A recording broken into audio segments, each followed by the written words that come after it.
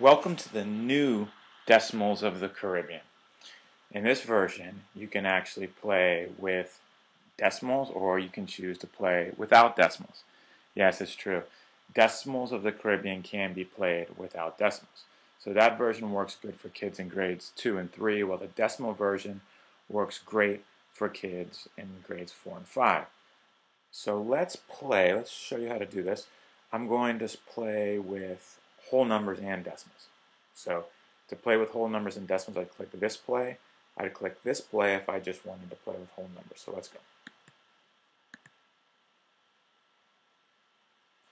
So my first stop, and this is similar to the old version, it says this is a major, Panama City is a major Spanish port where silver and gold are brought from the mines of South America.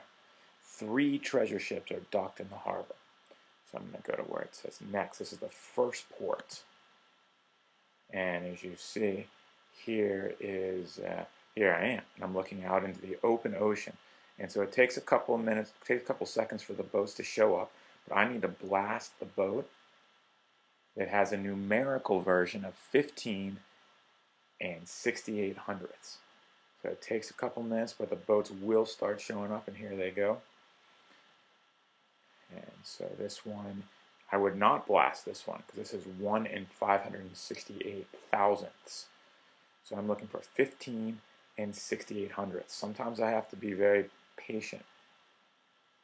This one says 1,568, so I would not blast that one. Sometimes six or seven boats go by before I find the right one. And this one is it looks like 1,568 ten thousandths, so also I'd stay away from that one. Here comes a fourth boat, and it reads, look at this, 15 and 6800. So I point my cannon there, and I fire, and I blow that ship out of the water. And so there's seven rounds, and in each round, you have to blast five ships. Um, if you if you make it past each round, you'll get a code. You can use that code to return to the game later, so you don't have to start all over again. So here I have 96 and 62 hundredths. So none of these ships coming in. I have three lives, which means I can get three wrong answers before the game's over. So here is 9 and 662 thousandths.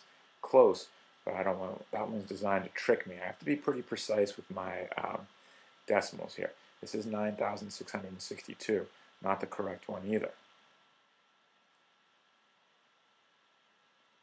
Down here is 96,662, or sorry, 9,662.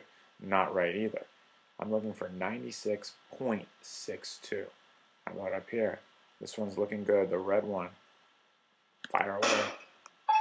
Blast it out of the water and my message changed. So now I'd be looking for 3 and 25 hundredths.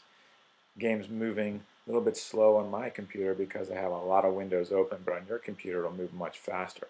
I'll do one more, so I'm looking for 3 and 25 hundredths. Also, each round the background changes and you go to a new location in Central America.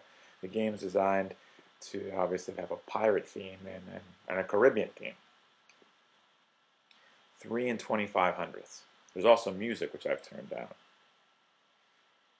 And I'm starting to see the ships with the threes, the twos, and the fives come. This is 3,250 right here. I'm going to stay away from that one. I'm really looking for three, simply 3.25, 3 and 25 hundredths. Again, sometimes you have to be patient. It'll take a while for your boat to come into sight. And there'll be other boats with similar numbers designed to trick you. 3 and 25 hundredths. There it is. And I knock that boat out of the water. So this should give you a good idea of how to play Decimals of the Caribbean. Again, this is the decimal version of Decimals of the Caribbean. There's also a plain whole numbers version of Decimals of the Caribbean.